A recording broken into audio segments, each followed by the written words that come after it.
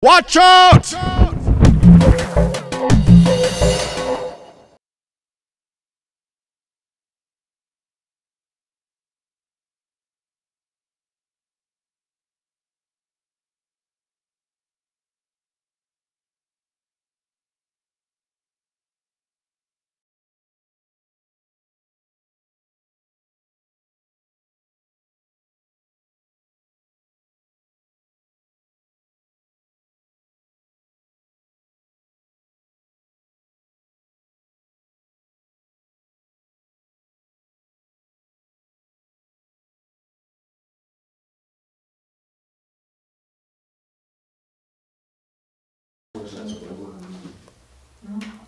Ja, dann sage ich jetzt einfach schönen guten Abend. Ich freue mich, dass der Raum so gut gefüllt ist mit Zuhörern, die sich für Zähne interessieren.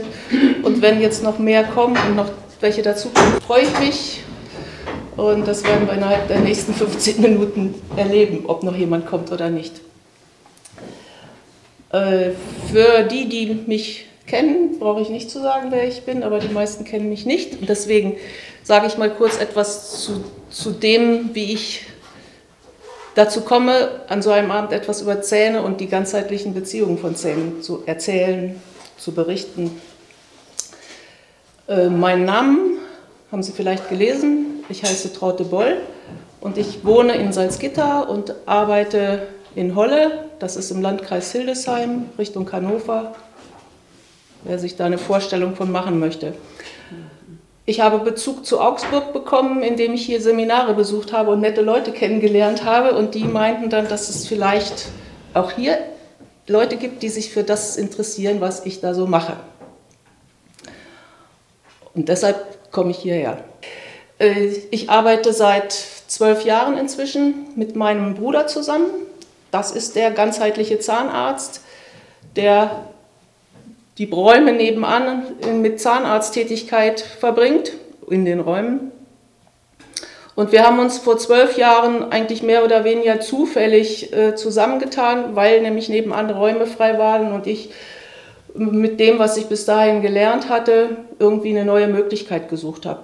Und dann waren zufällig die Räume da und er hatte zufällig Bedarf äh, an jemandem, der mh, per Körperfeedback, also kinesiologischem Testen, Muskeltesten, äh, herausfinden kann, was Zähne so machen und was die für Probleme haben und was er als Zahnreparaturmaterial in den Mund bringen kann, was dann der Mensch verträgt und so. Das war unser Ansatz ganz zu Beginn.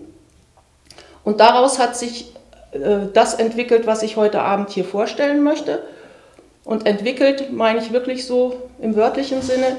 Es hat sich so ergeben.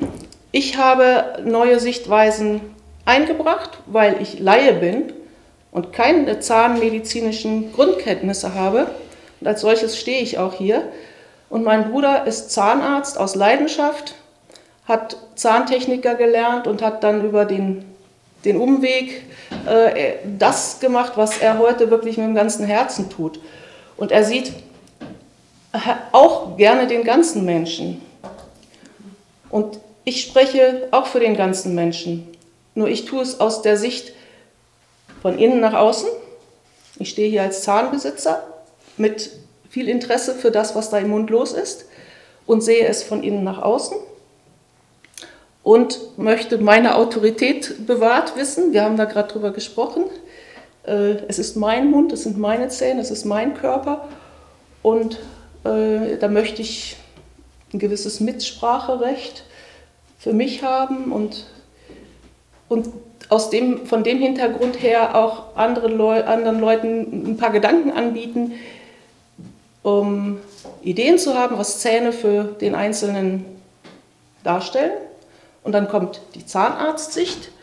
Der Zahnarzt lernt im Studium und in, ja, in, in seiner Art, äh, an Zähne heranzugehen, lernt er von außen auf die Zähne zu gucken und in der Regel mit dem Blick, äh, wo kann ich was reparieren, wo kann ich was regulieren, wo kann ich etwas von außen ähm, in Ordnung bringen. Ähm, von daher sind es einfach zwei verschiedene Sichtweisen. Ich kann heute nur die eine Sichtweise hier vortragen und vertreten, weil die andere Sichtweise nicht körperlich anwesend ist.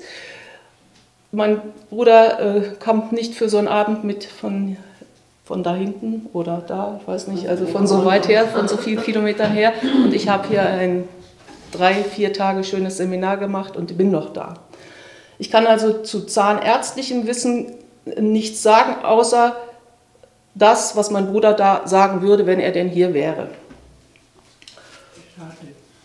Ja, und ich biete das gleich hier zu Beginn an. Wenn jemand da konkrete Fragen hat, äh, finden wir Wege. Entweder, dass ich frage und mich irgendwie zurückmelde oder aber, dass Sie ihn mal mit einer E-Mail beglücken. Kriegen Sie eigentlich immer eine Antwort. Ich bin so von meinem beruflichen Weg her Lehrerin gewesen. Also 20 Jahre Biologieunterricht war mein Ausgangspunkt. Und von daher denke ich, es ist gut, wenn man über Zähne redet, mit dem Zahn anzufangen. Ich gehe mal davon aus, dass jeder eine gewisse Vorstellung von dem hat, was ein Zahn ist. Und damit wir alle die gleiche Vorstellung haben, gehe ich das mal so kurz durch. Ähm, das, was was jeder im Mund sieht als Zahn, ist in der Regel dieses obere Drittel. Da sprechen wir von dem Zahn, von irgendeinem. Dieses ist stellvertretend für alle anderen Zähne einer der Backenzähne, würde ich mal sagen. Und das, was wir als Zahn sehen, ist dieser weiße Teil hier oben und den nennt man Zahnschmelz.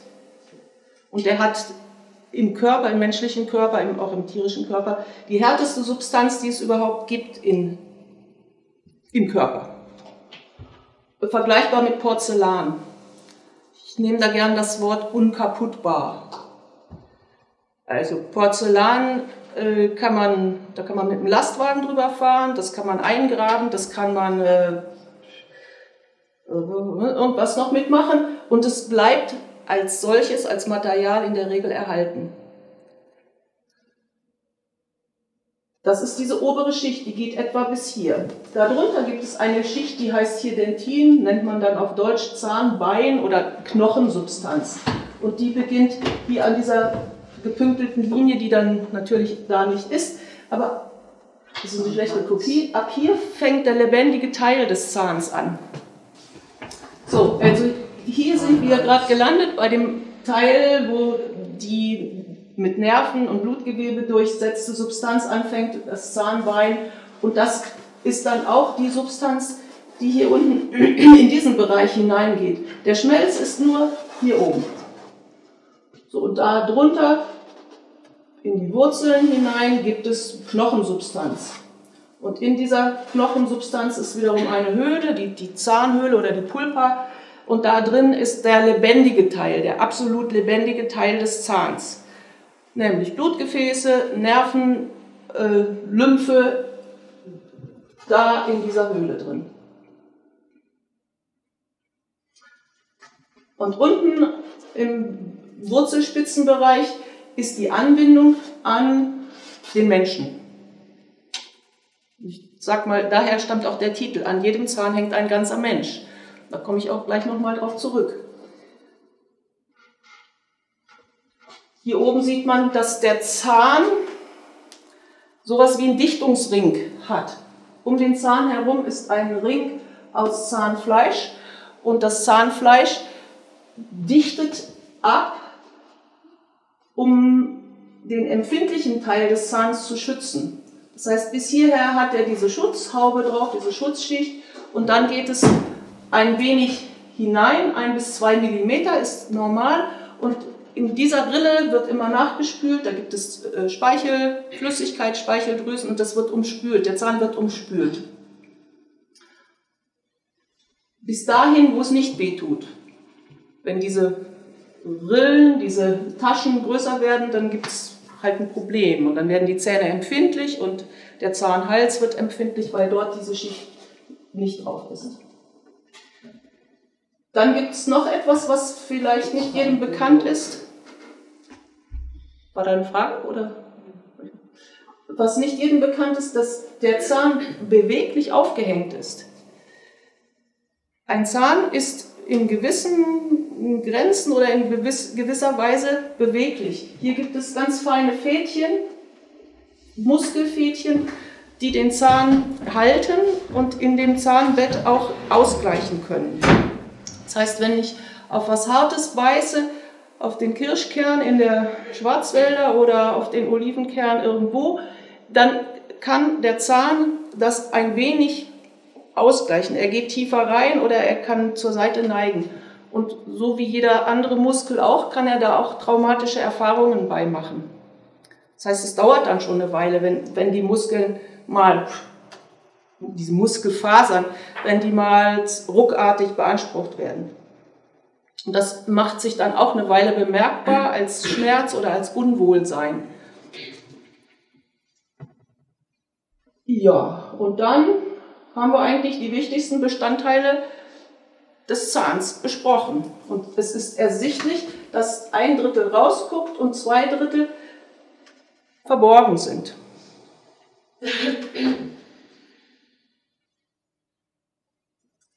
dieser, dieser Bereich, den ich hier so abgebildet habe, als Ganzes enthält die Anbindung an den Körper. Das heißt, wenn wir Zahnschmerzen haben oder wenn ein Zahn uns Beschwerden macht, kann das sowohl dieser Zahn sein, als auch das Zahnfleisch, was hier so dicht dran ist, was damit verbunden ist, als auch der Knochenbereich. Das Ganze nennt man dann das Zahnfach oder den, den Zahnbereich. Sowas habe ich natürlich als Biologielehrer unterrichtet. Immer mit dem Hintergrund, Zähne sind zum Kauen da und es sind Kauwerkzeuge und man kann damit Nahrung klein machen und dafür braucht der Mensch halt Zähne. Als ich es mit anderen Augen betrachtet habe, ist mir ganz deutlich aufgefallen, dass jeder einzelne Zahn auch einzeln an den Menschen angebunden ist. Jeder Zahn ist sozusagen ein, ein kleines Individuum, was an einer ganz bestimmten Stelle steht und was Verbindung zum ganzen Menschen hat. Und da fängt für mich der Gedanke von Ganzheitlichkeit an. Das heißt, jeder Zahn drückt eventuell etwas aus, was mit dem ganzen Menschen zu tun hat. Wir haben nicht nur einen Zahn im Mund, sondern mehrere. Ist irgendwo. So viel habe ich soll vorkommen, dass jemand jetzt irritiert ist, wenn er bei sich im Mund nachschaut, dass das nicht so viele sind. So ist die, die übliche Ordnung der Zähne im Mund. Wer nachzählt, wird feststellen, es sind 4 mal 8 Zähne.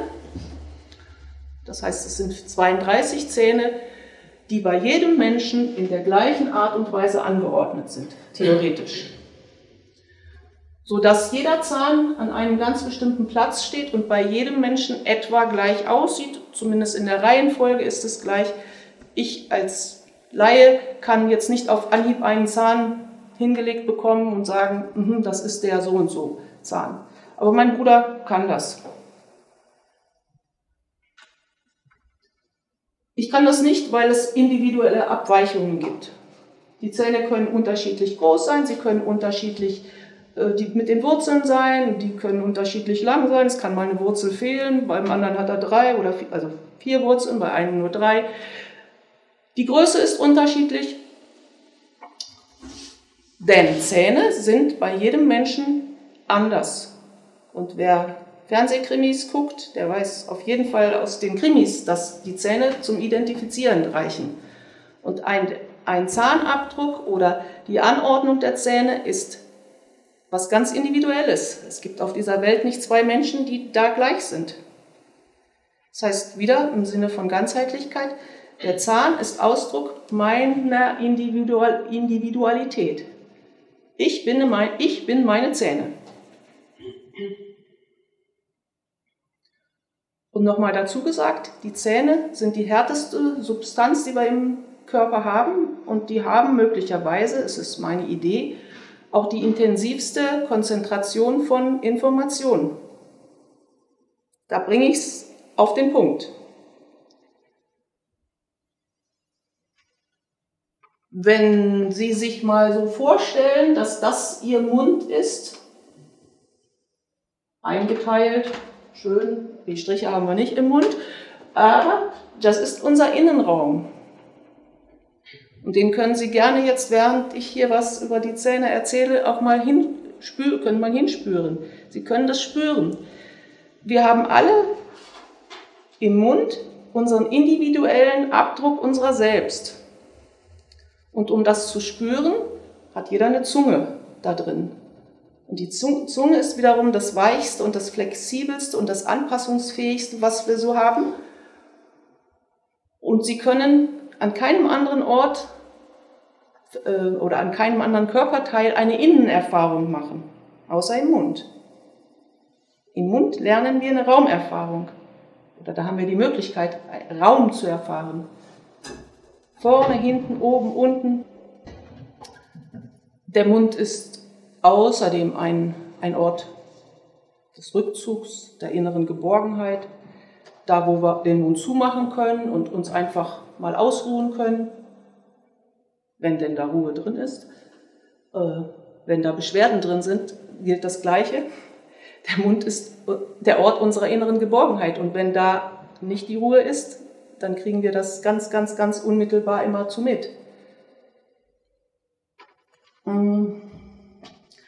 Sich anlehnen können und Begrenzung erfahren können, äh, hart gegen weich spüren zu können, das ist alles im Mund möglich. Und wer jetzt da sich so ein bisschen mit beschäftigt, der kann das entweder in Frage stellen und sagen, nee, oder es vielleicht auch mal so annehmen als Idee. Und jetzt kommt eine Frage. Entschuldigung, ich habe einen Satz zu spät warten und wo Sie gesagt haben, dann kommt es irgendwie auf den Punkt. Was haben Sie da kurz vorher?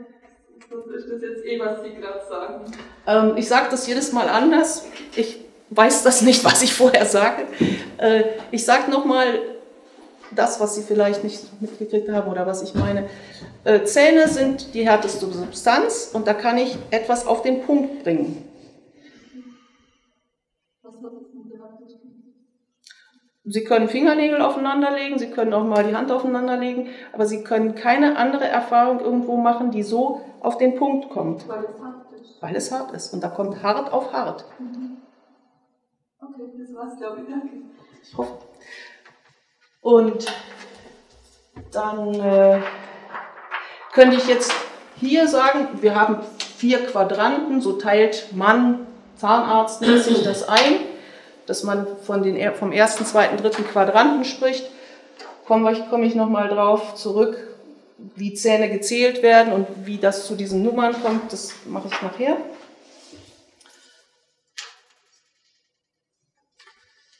So kann man Zähne auch anordnen und schauen und sehen.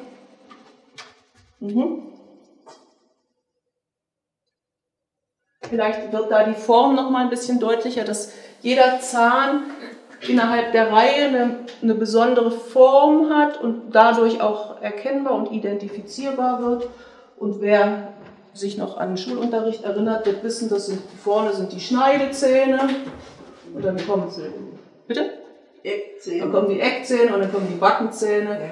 Und das ist der Eckzahn. Und da hinten haben wir dann einen Backenzahn, der den besonderen Namen hat. Diese Anordnung im Mund ist für jeden gleich. Und wenn jetzt jeder, äh, wenn jetzt jemand sagt, ähm, auf die Zahl 32 komme ich nicht so unbedingt, das ist halt manchmal so von Natur aus und manchmal bringt es das Leben mit sich. Und ich habe in einem Kinderbuch meiner jüngeren Enkeltochter, also die hatten im Kindergarten Bücher zum Ausleihen und sie hatte sich das Buch mitgenommen, weiß ich, Lotta geht zum Zahnarzt oder so ähnlich. Und da habe ich mit ihr drin rumgeblättert und dann sah ich, dass da öffentlich verkündet wird, der Mensch hat 28 Zähne. Und das hat mich schon sehr irritiert, denn für mich hat der Mensch 32 Zähne. Das heißt, einen dieser. Ich gerade fragen, sind da Weisheitszähne ja. bei 32? Ja, die sind dabei. Das ja. ist also acht und der letzte, der Achter, ist der Weisheitszahn. Das heißt, es gibt so die Ansicht, dass, die, dass der Mensch auf dem Weg ist, sich von dem letzten Zahn langsam zu verabschieden. Da komme ich auch noch drauf.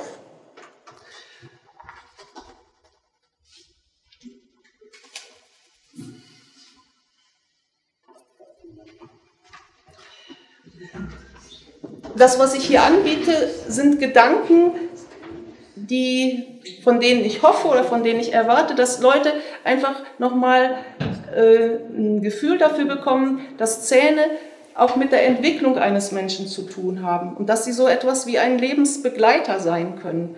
Und um das zu verdeutlichen, habe ich Ihnen hier das von dem, vom Milchgebiss hingelegt. Die Anthroposophen haben sich äh, schon lange und viele Jahre und intensiv mit den Zähnen als Entwicklungsbegleiter beschäftigt. Ich bin mit dem anthroposophischen Wissen nicht so sehr vertraut. Ich kann das jetzt einfach nur so nehmen und sagen, die haben, die haben da einen wichtigen Beitrag geleistet, Zähne so zu sehen. Und davon nehme ich jetzt mal diese Folie und versuche das so darzustellen, dass Sie vielleicht sich noch mal so als Kind fühlen können, wie es denn anfing mit den Zähnen. Auf die Welt kommt der Mensch ohne Zähne. Und der heißt dann Säugling. Es bedeutet, dass der nur saugen kann und nichts anderes machen kann. Deswegen heißt der Säugling.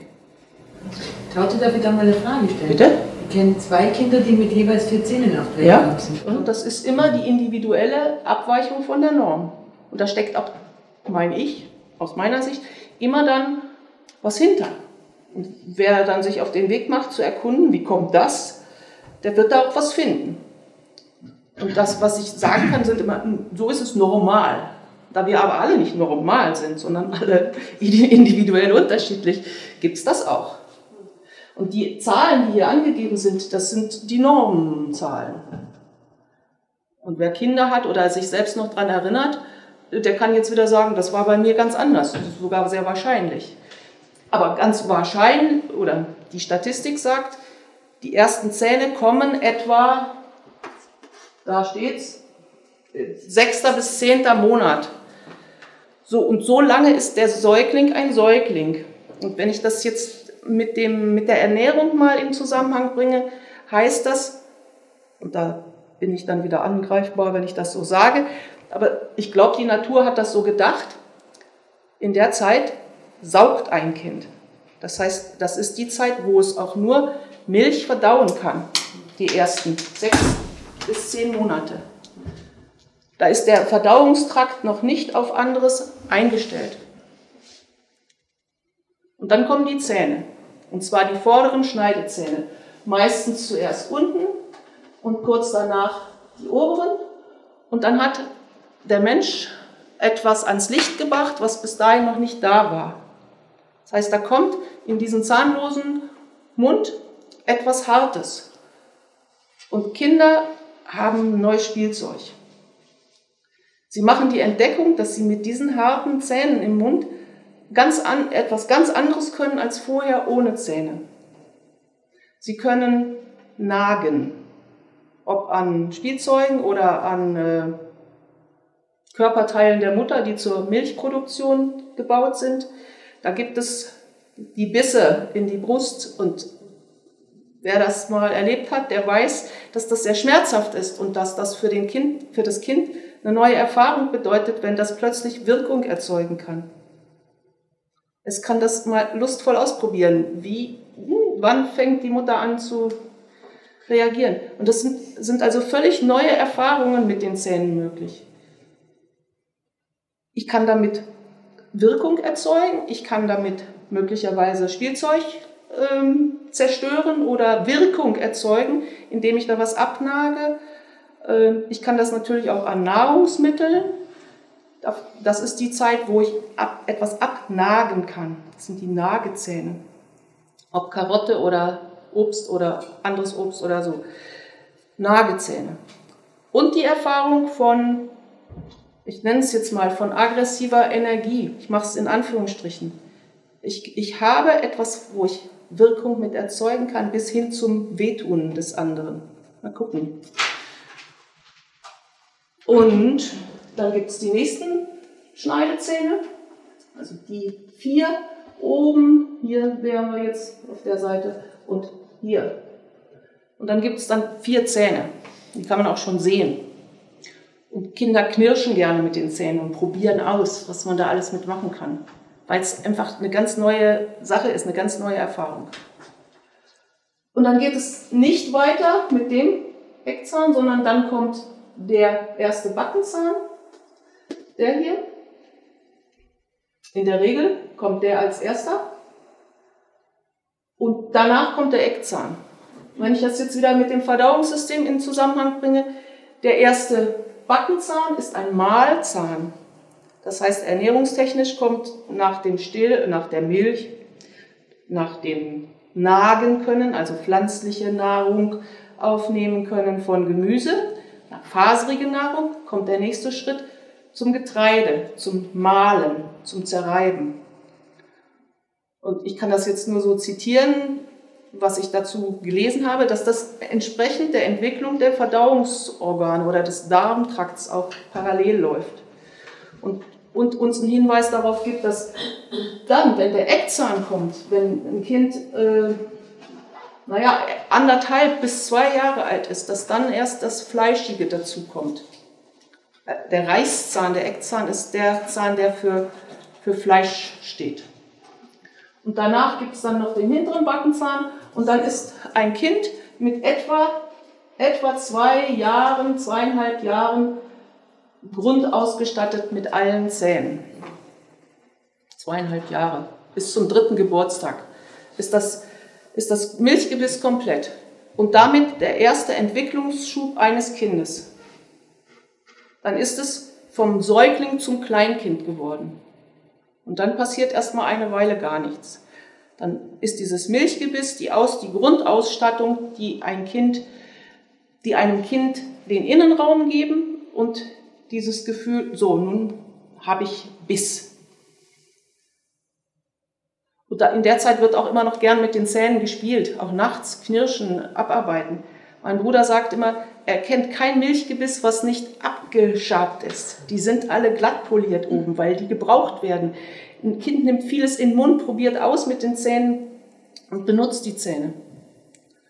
Und dann gibt es nach etwa drei Jahren dann den Zahnwechsel. Und der Zahnwechsel ist dann die nächste Entwicklungsphase. Und Zahnwechsel heißt, zuerst fallen die aus, die zuerst gekommen sind. Ich weiß jetzt nicht, oben, unten, äh, will ich mich nicht festlegen, muss ich gucken. Ich glaube, das ist etwa gleich. Das heißt, die Schneidezähne, die vorderen, fallen aus zu einem bestimmten Zeitpunkt und der oft mit der Einschulung zusammenfällt oder mit dem ersten Schuljahr, wo dann die, die Zahnlücken da sind, so wie man Kinder in der Zeit kennt. Meistens passiert aber vorher etwas im Verborgenen. Da gibt es nämlich da hinten einen neuen Zahn. Hier sind es fünf pro Quadrant und der Sechser, der sechste Zahn, also man nennt die dann auch Nummer, mit den Nummern 1, 2, 3, 4, 5 und dann kommt der sechste. Und der sechste ist der erste Zahn des bleibenden Gebisses und der kommt auch in der Zeit, wo die Einschulung stattfindet, wo das Kleinkind jetzt zum, den ersten Schritt zum, zum Schulkind, zum, ah, in Richtung Erwachsener werden. Kleinkinder sind zu Hause in dem geschützten Rahmen und dann kommt dieser Schritt nach draußen in die Schule, in die große weite Welt. Und dafür gibt es auch eine Folie. Ich, ich mache das so ausführlich, weil ich glaube, dass, oder ich hoffe, ich habe selber da den verstanden, dass die Zähne hm, nicht nur jetzt mich begleiten im Sinne von, ja, dann kann ich besser beißen und irgendwann ist der Mund voll, sondern dass sie, indem sie bestimmte bestimmte Informationen, bestimmte äh, Aspekte meiner selbst ans Licht bringen. Denn jeder Zahn, der da kommt, meine älteste Enkeltochter hat mir dann irgendwann mal erzählt, Oma, mir ist wieder ein Zahn geboren. Und in dem Sinne, es ist etwas ans Licht gekommen, was vorher nicht da war. Hm, bitte. Ähm, dann würden Sie meinen, dass ein Kind gar nicht zur Schule gehen sollte, ehe diese sechste Zahn nicht da wäre, sonst wäre der Brocken mhm. zu groß zu schlucken ist?